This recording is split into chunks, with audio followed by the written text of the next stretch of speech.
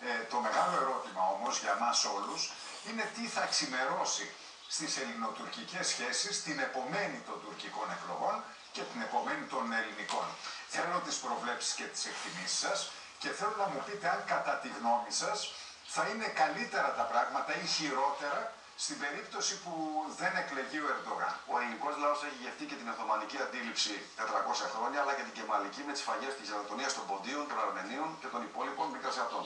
Άρα λοιπόν γνωρίζουμε τι λένε και οι δυο. Λένε την ίδια ακριβώς ατζέντα. Σας φάζω ή υποτάσσεσαι. Γι' αυτό ακριβώς πρέπει να είμαστε προετοιμασμένοι. Αλλά αυτή η κυβέρνηση έκανε σειρά εγκλημάτων. Να δώσω δύο-τρία παραδείγματα. Ο κύριος Ερντογάν ανακοίνωσε αό με την Κύπρο. Εγώ φωνασκώ από το 19 που μπήκα στη Βουλή. Κάντε ΑΟΣ με την Κύπρο. Δεν την έκαναν. Αυτό σημαίνει ένα ικτρό μεγάλο λάθος. Το άλλο, ξέρετε, άλλο κατευνασμός, άλλο μειοδοσία και άλλο ανοησία. Δυστυχώς το ελληνικό πολιτικό προσωπικό έχει και τα τρία. Και κάναμε συγκεκριμένες προτάσεις. Και θέλω να πω και κάτι ακόμα. Είναι δυνατόν η χώρα μας να σπάει τις σχέσεις με τη Σερβία για το Κόσοβο. Είναι αδιανόητο αυτό που έκανε ο κ. Δέλγης. Είναι αδιανόητο αυτό που κάναμε με την Ταϊβάν, που καλέσαμε την Ταϊβάν όταν ξέρουμε ότι έχει πρόβλημα με την Κίνα. Ο πολυπολικός κόσμος λοιπόν θέλει και πολυπολική εξωτερική πολιτική. Δυστυχώς είμαστε μόνο με τη Δύση. Ένα δίλημα το οποίο αφορά άλλες εποχές. Τότε υπήρχε το Σοβιετικό καθεστώς, υπήρχε και η Δύση όπως την ξέραμε. Άρα λοιπόν στον πολυπολικό κόσμο δεν μπορεί να είσαι δεδομένος. Ο δεδομένος είναι νικημένος και ηττημένος. Εκτός από τη Δύση, με ποιον άλλον θα έπρεπε να αναπτύξουμε σχέση και με την Κίνα. πιο έντονα; Και με την Κίνα. Και με την Κίνα. Και με την Κίνα. Και με τη Ρωσία. Είμαστε βελτιωμένοι με την Κίνα.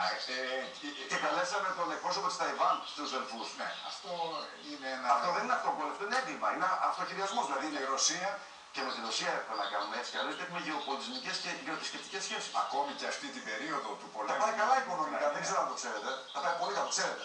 Οικονομικά το Διεθνές Νομισματικό Ταμείο θα πάει πολύ καλύτερα από ό,τι πριν από τον πόλεμο. Και να σου πω και κάτι. Η Ουκρανία δεν είναι μέλος της Ευρωπαϊκής Ένωσης. Δεν είναι μέλος του ΝΑΤΟ.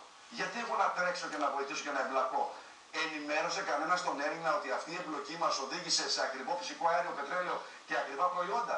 Ενημέρωσε ο κ. Μητσοτάκης και οι υπόλοιποι που συμφωνούν ότι το τι να πληρώσουν οφείλεται στα ακριβά προϊόντα τα οποία είναι επακόλουθο της Ουκρανικής κρίσης.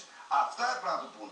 Όχι να πληρώνει ο Έλληνας σε επιλογές του κ. Μητσοτάκη, του κ. Ανδρουλάκη ή του κ. Τσίπρα, μόνο σήματα να είναι με τις ΗΠΑ. Ευχαριστώ θερμά. Εγώ σε ευχαριστώ. Της ελληνικής λύσης, τον κύριο Κυριάκο Βελό. Και πρέπει για ακόμη μια φορά να σε ευχαριστήσω γιατί επαναλαμβάνω και το ξαναλέω. Δυστυχώς, αν είχαμε τέσσερα χρόνια δυνατότητα να επικοινωνούμε αυτά που λέμε, ούτε θα υπήρχαν διαστροφές ό,τι λέμε και το κυριότερο, ούτε παραπλάνηση του ψηφοφόρου. Γι' αυτό και λέω 21 Μαΐου ας επιλέξω συνειδητά και κυρίως ελληνικά ελληνική Σας ευχαριστώ. Εγώ σε ευχαριστώ.